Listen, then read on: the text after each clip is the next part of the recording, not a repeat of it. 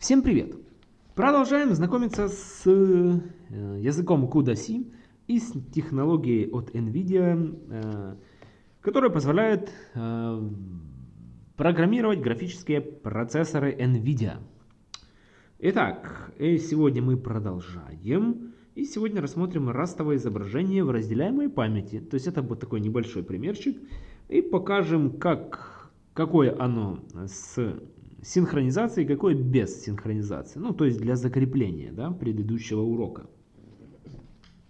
И э, основой всех, ну, на данный момент пока, предыдущих и этого урока является книга э, «Технология CUDA в примерах. Введение в программирование графических процессоров». Джейсон Сандерс и Эдвард Кендрат, авторы этой книги. Ну что ж, начнем. Э, мы рассмотрели в предыдущем примере, э, или даже еще примеры, в которых э, использовались разделяемая память и функция SyncThread. Это мы в предыдущем уроке рассматривали и рассматривали, что такое SyncThread. Если кто не смотрел, то обязательно посмотрите. Может возникнуть искушение рискнуть и во имя быстродействия опустить SyncThread. Сейчас мы рассмотрим пример графического приложения, в котором без SyncThread результаты оказываются неверные. Мы проведем, э, что получается, то есть я покажу, что получается без SyncThread, а потом, что будет, если ну, всего лишь добавим SyncThreads. Э, так, тело функции, давайте, main. Вот оно. А, ну, в принципе, такое же, как в задаче о фрактале Джулия. Хотя на этот раз мы запускаем несколько нитей в блоке. Как и в примере э, фрактала Джулия, каждая нить вычисляет значение пикселя в одной точке. Сначала нить вычисляет координаты x, y своей точки результирующего изображения. Делается это так же, как и при вычислении переменной tid в задаче о сложении векторов. Только на этот раз а, здесь пару изменений. Поскольку для кеширования результатов вычисления мы будем использовать буфер в разделяемой памяти, Объявим его так, чтобы каждой нити в нашем блоке 16 на 16 соответствовал отдельный элемент. Затем каждая нить вычисляет значение, вот, вычисляет значение, и э, помещаемое в буфер. И напоследок записывает это значение в буфер.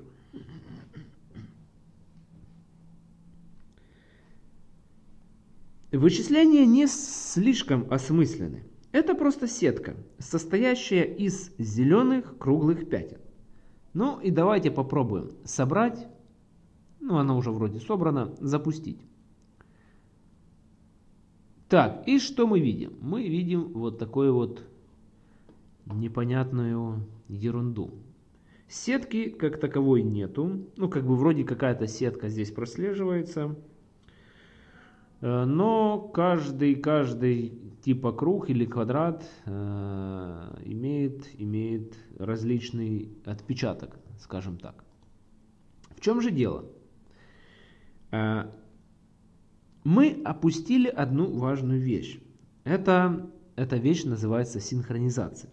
Вполне может случиться, что к моменту записи в пиксель значения, хранящегося в шарот, ну, x там, y, или thread вот x и y, да, а, нить, которая должна была поместить значение в данный элемент массива, еще не закончила работать.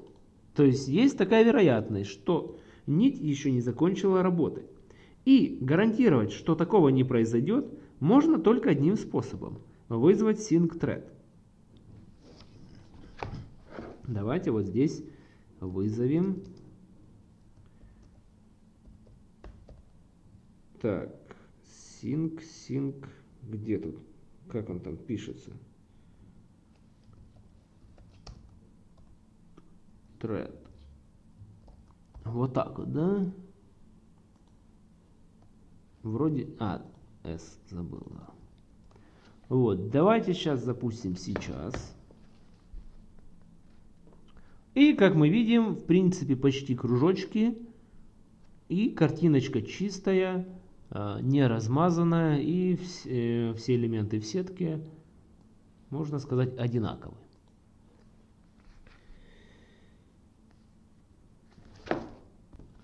Так вот, в чем же здесь была проблема?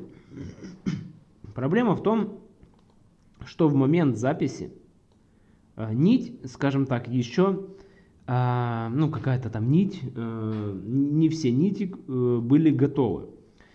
И соответственно, то есть вот этот sync thread нужно делать тогда, когда у нас все нити, все нити выполнили вот эти операции. Это мы уже знаем, да, с помощью sync thread мы как раз и синхронизируем. Мы дожидаемся, когда все нити в блоке выполнят каждая из них вот эту операцию, и только потом мы записываем результирующие пиксели.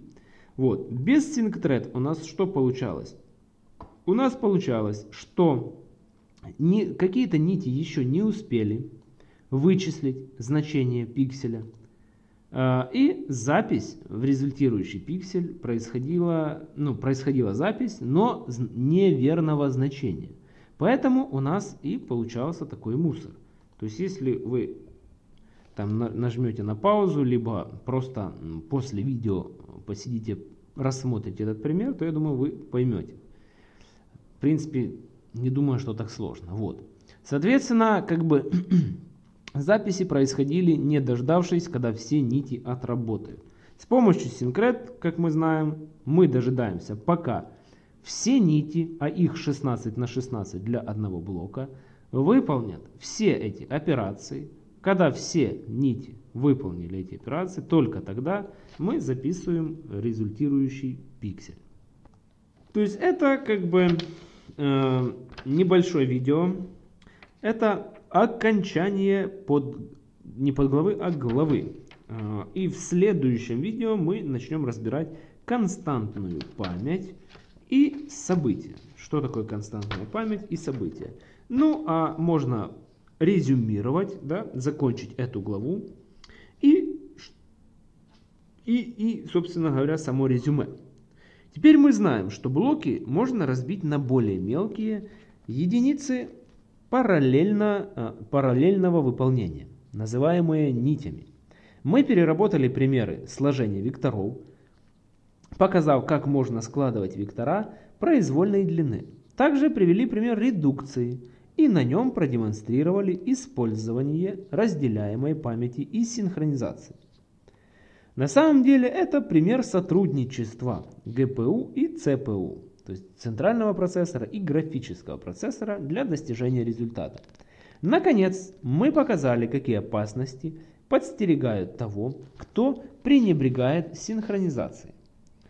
А, вы многое узнали об основах языка CUDA-C, о тех аспектах, в которых он похож на стандартный C, и о тех, в которых он существенно отличается. А, теперь самое время поразмыслить над своими задачами и прикинуть, какие из них можно было бы с успехом распараллелить за счет применения CUDA-C. В дальнейшем мы познакомимся со средствами, позволяющими реализовать на графическом процессоре параллельные задачи, а также с некоторыми более сложными API, предлагаемые MIMI архитектурой CUDA.